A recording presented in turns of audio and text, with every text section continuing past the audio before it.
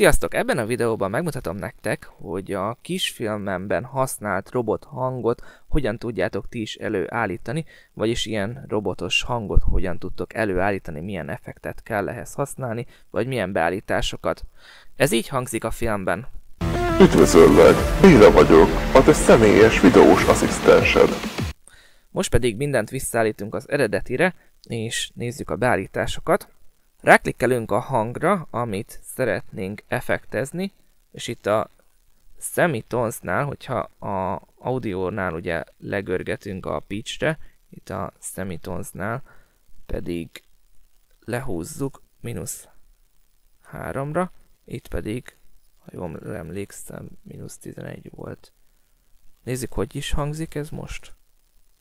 Üdvözöllek! Béla vagyok, a te személyes videós asszisztensed.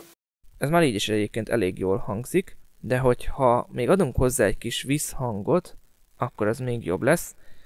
Jobb oldalt, ugye az effects megyünk, és azon belül is az Audio FX-re és a Delay-re.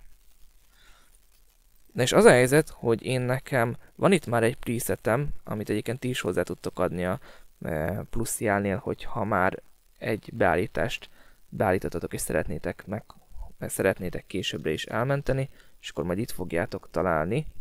Na de nézzük azt, hogy én ezt eredetileg hogyan állítottam be. Ugye itt csak igazából ezen állítottam, hogy ne legyen olyan hosszú a vízhang, és most nézzük mi az eredmény. Üdvözöllek! Béla vagyok, a te személyes videós asszisztensed. Itt még mindig túl sok a, a vízhang, mert hogy az van, hogy ja, mint hogyha nagy teremben lenne, pedig nem abba van. Úgyhogy itt most már látjuk, hogy oldalt is itt vannak ezek a funkciók, úgyhogy szépen lehúzzuk ezt a delay time-ot. Nézzük még egyszer, hogyan szól. Üdvözöllek! Béla vagyok, a te személyes videós asszisztensed. Ez így már egyébként egész jó, de hogyha ezen még akarunk változtatni, akkor kísérletezgessünk vele. Remélem tetszett nektek ez az oktatóanyag, hogyha igen, akkor ne felejtsétek el lájkolni a videót, és nézzétek meg azt a rövid filmet is, amit ebből sikerült kihozni.